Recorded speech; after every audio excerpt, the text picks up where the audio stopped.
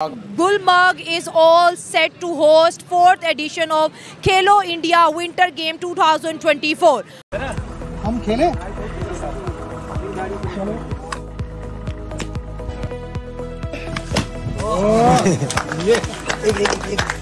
Okay thank you और जी कश्मीर के अंदर हज़ारों की तादाद में एथलीट्स मौजूद साथ ही गुलमर्ग में 21 फरवरी से खेलो इंडिया शीतकालीन खेल का दूसरा चरण शुरू हो गया है जो 25 फरवरी तक चलेगा। उन्नीस में तो भारत आज़ाद हुआ लेकिन 2019 5 अगस्त को कश्मीर आज़ाद हो गया। धारा 370 हट गई अब हम आज़ाद हुए हैं। ओवर तीन चार सौ एथलीट्स आते हैं हमारे पास ऑल ओवर इंडिया से यहाँ पे। तो जब वो यहाँ आते हैं तो we have to present the best face of जिस आर्टिकल की आप बात करें उसका टाइटल है Pakistan is out of friends के अंदर आ गया इलेक्ट्रिक ट्रेन चल रही है कश्मीर के अंदर चल रही है।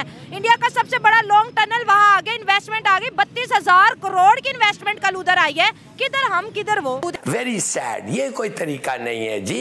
इंडिया के वज़ीर को कहा गया कि ये चाय वाला है। कमाल कर दिखाया चाय वाले ने।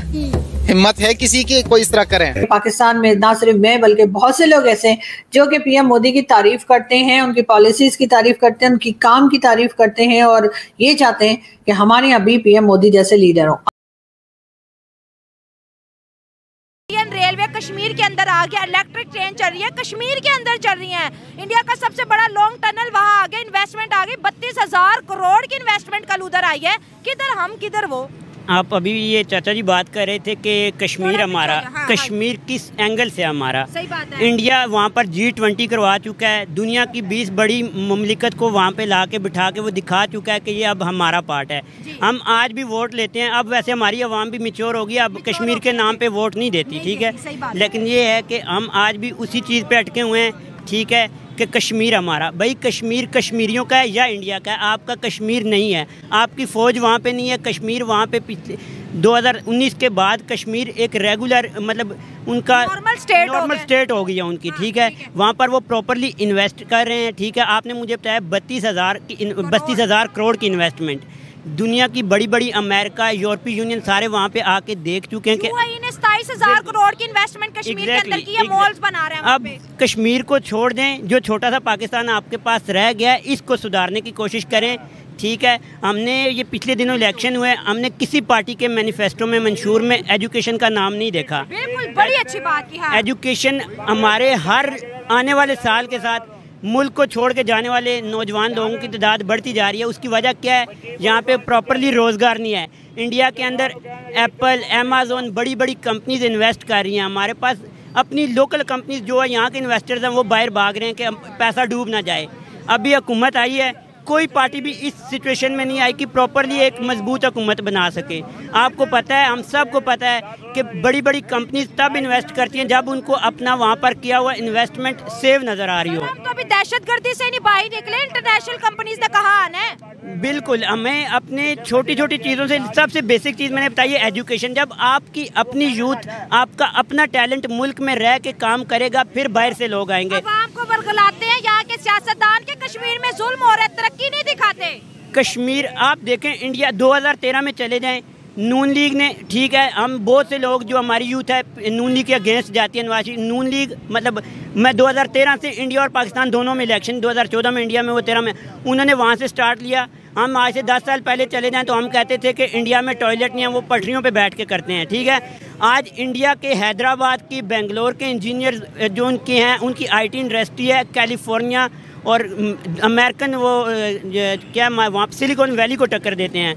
हमारे पास ना, हमारा अपना कोई आईटी इंफ्रास्ट्रक्चर है इमरान खान को बहुत चीज़ों से आप उसके अगेंस्ट जा सकते हैं लेकिन ऑनलाइन अवाम को ये शौर देने की तरफ़ उस बंदे ने बहुत सा काम किया। ठीक है हम हमारे जो उसके IT exports billion of dollar की बिलियन ऑफ़ डॉलर मैं लेकिन मैं सिर्फ़ बात मैंने स्टार्ट की 2016 तक मुल्क अच्छी डायरेक्शन में जा रहा था। ठीक है दो उसके बाद छोटे मोटे केसेस आए। ठीक है मैं पर्सनली किसी एक बंदे की फेवर या एक पार्टी की फेवर में या किसके अगेंस्ट बात नहीं कर रहा। हमें पिछले पचास साठ साल में किसी पीएम ने अपना टेन्योर पूरा नहीं किया किसी गवर्नमेंट ने अपना टेन्योर नहीं पूरा किया। तो सर पड़ोसियों से क्यों नहीं सीखते नहीं आपने सीखते। दस उनकी अच्छी बातें बता दी लेकिन यहाँ के सियासतदानों को सिर्फ़ बुराइयाँ नज़र आती हैं। इंडिया में बुराई भाई आवाम को मोटिवेट करो कि उन्होंने ये किया या हम ये करें। उनकी आई को पाकिस्तान में इनवाइट करो अवाम को रोज़गार दो कैसे मोटिवेट करें? अवाम पे यहाँ पे अवाम फिर डिस्ट्रीब्यूट हो गई है दो पॉइंट्स में। आधे लोग इस्टेब्लिशमेंट और आर्मी के अगेंस्ट चले गए हैं। कुछ इमरान खान के फेवर में चले गए हमारा कोई अपना दीन मज़हब ही नहीं है। किसी एक पॉइंट पे हम हैं ही नहीं। हम मतलब डाइवर्ट हुए पड़े किसी एक स्पेसिफिक पॉइंट पे हम रुकें किसी एक पॉजिटिव सेंस में अपनी बेसिकली हमें तब तक हमारा राइट नहीं मिलेगा जब तक हमें लेना नहीं आएगा। हम वोट डालने जाते हैं तो बिरयानी की प्लेट पे वोट दे के आ जाते हैं। ये जो कंपेन है बिरयानी वाली पूरी दुनिया में सिर्फ़ पाकिस्तान में बिरयानी खाओ वोट दो। दुनिया में किसी ने भी आर्टिकल 370 के खिलाफ कुछ भी नहीं बोला है। और देखे बोलेंगे भी क्यों? जहाँ पर देखे आर्टिकल 370 से पहले कश्मीर में क्या था आज क्या है? आप लॉ एंड ऑर्डर का देख लें सिक्योरिटी को देखें इंफ्रास्ट्रक्चर वगैरह पे तो चलो बाद में आते हैं। जो बेसिक सी जो फ़र्क आ जाता है पहले फॉरेनर्स नहीं जाते थे।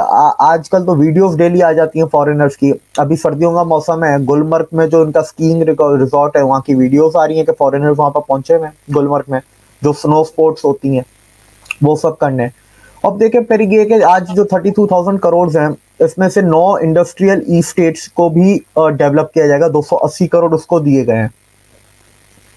जो जम्मू का जो एयरपोर्ट है उसका नया टर्मिनल आठ सौ पैंसठ करोड़ में नया एयरपोर्ट पूरा तैयार किया जाएगा। पहले एक श्रीनगर का एयरपोर्ट हुआ करता था। ये अलग है। ये जम्मू में है। तो ये देखें डेवलपमेंट आ रही है। पैसा आ रहा है। अब देखें ना रोज़गार किसको मिलेगा? काम उधर कौन करेगा? कश्मीरी करेंगे ना। तो उनकी ज़िंदगी बेहतर होगी। उन्नीस से पहले जो आंकड़े आप देखें आतंकवादी घटनाओं के वो आपके मोर देन फिफ्टी परसेंट कम हुए हैं। जो आपके इससे रिलेटेड टेररिस्ट एक्टिविटी से रिलेटेड जो डेथ कैजुअलिटीज होती थी चाहे सिविलियन की हो चाहे आर्म फोर्सेस की हो वो सेवेंटी परसेंट कम हुई है। पत्थर मारी जो पत्थरबाजी हर जुम्मे को होती थी नमाज़ के बाद वो ज़ीरो हो चुकी है। उन्नीस से लेके अब तक ज़ीरो अब ज़ीरो होती है। तो इतना जब फ़र्क आ गया है तो वहाँ के लोगों की ज़िंदगी भी तो बदली है ना। उनकी ज़िंदगी में तो आसानियाँ आई है ना। और फिर जो इंडिया की सारी स्कीम्स हैं वो उधर जाके लागू हुई। चाहे वो गैस की हो पानी की हो रोज़गार की हो स्किल डेवलपमेंट की हो डिजिटल इंडिया हो स्टार्टअप इंडिया हो। अभी पिछले हफ़्ते ही एक कश्मीर जम्मू का ही स्टार्टअप था फ्रूट वा, फ्रूट वाला कुछ करके हॉर्टिकल्चर का। जम्मू का ही था। उसको इंटरनेशनल इन्वेस्टमेंट आई है साठ करोड़ रुपए। इन्वेस्टमेंट इतनी बड़ी नहीं है पर इसके दिखाने का मतलब है कि इंटरनेशनल आई है। इंडियन साठ करोड़ नहीं है। इंटरनेशनल आई है। इसका मतलब है कि इंटरनेशनल इन्वेस्टर चाहे बहुत बड़ा एम आर यूएई जितना मुल्कों के लेवल पे हो कि छोटा आपके वेंचर कैपिटलिस्ट हो वो जम्मू को कश्मीर को एक इन्वेस्टमेंट के लिए एक hot hot property hot location मानते हैं समझते हैं एक फिजिबल जगह मानते हैं। तभी तो वो करते हैं वो वहाँ पर। रोड्स पहुँच रहे हैं बिजली पहुँच रही है। अ, इंडिया में देखें सबसे आगे एक अ, इंडिया में आखिर में बिल्कुल टॉप पे गाँव है गुरेज। ठीक है? तो गुरेज एक ऐसा गाँव है जो आधा बटा हुआ है। आधा पाकिस्तान के पास है आधा इंडिया के पास है। बेसिकली वो गिलगित में आता है। पाकिस्तान साइड के गुरेज में अभी तक बिजली नहीं पहुँची है। इंडिया के साइड में गुरेज में बिजली अभी पहुँच चुकी है।